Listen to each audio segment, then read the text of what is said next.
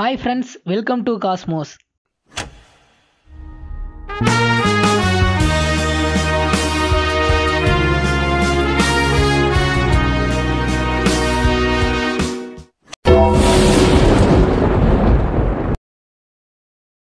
Thanos இதுதான் நாம் இப்போ பார்க்க போகிற காமிக்ஸ் நம்ம தேனோஸோட ஸ்டாண்ட் அலோன் காமிக்ஸ் இதில் மொத்தம் பதினெட்டு இஷ்யூஸ் இருக்குது இந்த காமிக்ஸை பொறுத்த வரைக்கும் தேனோஸ் தான் ஹீரோ அவர் தான் வில்லன் ஓகே வாங்க கதையை ஸ்டார்ட் பண்ணலாம். கதை ஸ்பேஸில் இருக்கிற பிளாக் குவாட்ரண்ட்லேருந்து ஸ்டார்ட் ஆகுது.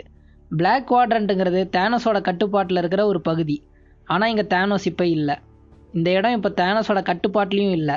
பிளாக் குவாட்ரண்ட் இப்போது மாஸ்டர் ஆஃப் பிளாக் ஆர்டர் கட்டுப்பாட்டில் இருக்குது அவன்தான் கார்வஸ் கிளைவ் தானோஸோட முன்னாள் விசுவாசி. இந்த டைம் லைனில் தேனோஸ் எங்கே இருக்காருன்னு யாருக்குமே தெரியாது.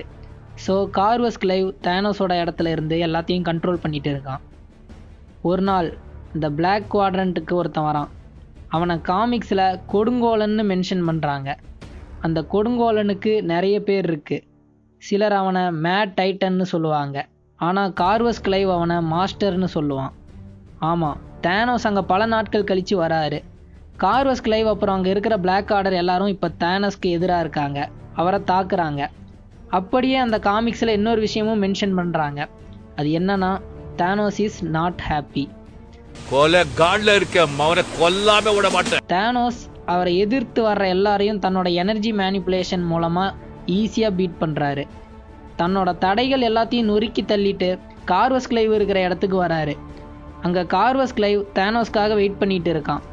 தேனோஸ் அங்கே வந்ததும் கார்வஸ் கிளைவ் தேனோஸ் கிட்ட இந்த மொத்த இடமும் தன்னுடையது. இதுக்காக தான் சாகவும் தயாருங்கிற மாதிரி சொல்கிறான் சாவுங்கிற வார்த்தையை கேட்டதும் இவ்வளோ நேரம் கோபமாக இருந்த தேனோஸ் சிரிக்கிறாரு. தான் வில்லத்தனமான சிரிப்போட ஆமாம் நீ சாகவும் தயார்னு சொல்கிறாரு கதை அப்படியே கேலக்சியோட மறுபக்கத்துக்கு நகருது. அங்கே சாம்பியனுங்கிற கேரக்டர் ஸ்டார் ஃபாக்ஸை தேடிட்டு இருக்காரு. இந்த சாம்பியனோட உண்மையான பேர் ட்ரைகோ.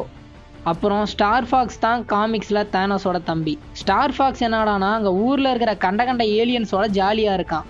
இந்த லட்சணத்தில் அவனை தேடி வந்த ட்ரைகோவை பார்த்து நீயும் எங்களோட ஜாயின் பண்ணிக்கோன்னு வேற சொல்கிறான் ட்ரைக்கோ நான் இப்போ உன்னை டைட்டனுக்கு கூட்டிகிட்டு போக வந்திருக்கேன். ஸோ எல்லாத்தையும் மூடிக்கிட்டு வான்னு சொல்கிறான் அதாவது ட்ரெஸ்ஸை போட்டு வான்னு சொல்கிறான் ஸ்டார் ஃபாக்ஸ் யார் என்னை கூப்பிட்டதுன்னு கேட்க அதுக்கு ட்ரைக்கோவன் மருமவன் தானேன்னு சொல்கிறான் தானேயோட அப்பா நம்ம மேட் டைட்டன் தானோஸ் ஆமாம் தேனோஸ்க்கும் ஒரு இன்ஹியூமன் பொண்ணுக்கும் பிறந்தவன் தான் தானே.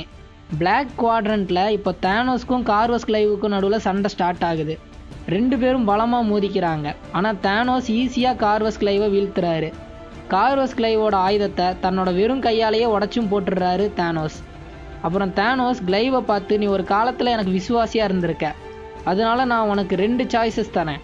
ஒன்று நீயே சூசைட் பண்ணி நிம்மதியாக செத்துரு. இல்லை நானே உன்னை கொள்கிறேன்னு சொல்கிறாரு இதுதான் நான் உனக்கு கொடுக்குற கருணைன்னு சொல்கிறாரு தேனோஸ். கார்வஸ் கிளைவுக்கு மட்டும் இல்லை இந்த பிரபஞ்சத்தில் இருக்கிற எல்லாருக்குமே தெரியும் தேனோஸ் கையால் சாகிறத விட கொடுமையானது வேற ஒன்றும் இல்லைன்னு. ஸோ தேனோஸ் உடைச்ச தன் ஆயுதத்தோட ஒரு பீஸை எடுத்து தன் நெஞ்சில் குத்திக்கிட்டு அங்கேயே இறந்து போகிறாரு கார்வஸ் கிளைவ் தேனோஸ் பிளாக் குவாட்ரண்ட்டில் இருக்கிற தன்னோட சிம்மாசனத்தில் மறுபடியும் உட்காடுறாரு கேலக்ஸியோட இன்னொரு பக்கத்தில் ட்ரைகோ கூட தானேவை சந்திக்க கிளம்புறாரு ஸ்டார் ஃபாக்ஸ் கிளம்பும்போது ட்ரைகோ தானே நமக்கு ஒரு பெரிய சேலஞ்சை கொடுத்துருக்கான்னு சொல்கிறாரு அது என்னன்னு ஸ்டார் ஃபாக்ஸ் கேட்க ட்ரைகோ அதுக்கு நீ இன்னும் கேள்விப்படலையா? உன் சகோதரன் தானோஸ் திரும்ப வந்துட்டான். நாம் அவனை கொல்ல போகிறோன்னு சொல்கிறாரு இதை கேட்ட ஸ்டார் ஃபாக்ஸ் அப்படியே மிரண்டு போயிடுறான். இப்போ கதை டைட்டனுக்கு நகருது.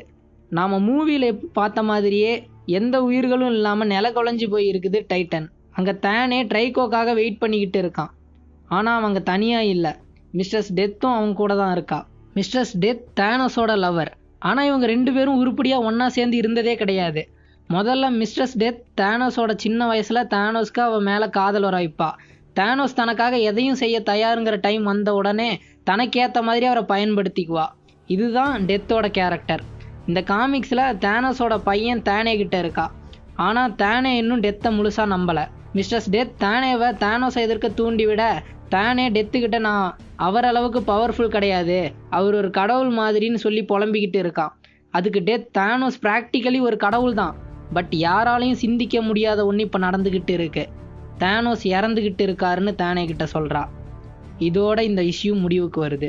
இந்த வீடியோ உங்களுக்கு பிடிச்சிருந்தா எங்களை மோட்டிவேட் பண்ணுற மாதிரி ஒரு லைக் கொடுங்க கமெண்ட் பண்ணுங்கள் ஷேர் பண்ணுங்கள் மறக்காமல் சேனலுக்கு சப்ஸ்கிரைப் பண்ணுங்கள் அடுத்த இஷ்யூவில் உங்களை மீட் பண்ணுறேன் டேக் கேர் பை பை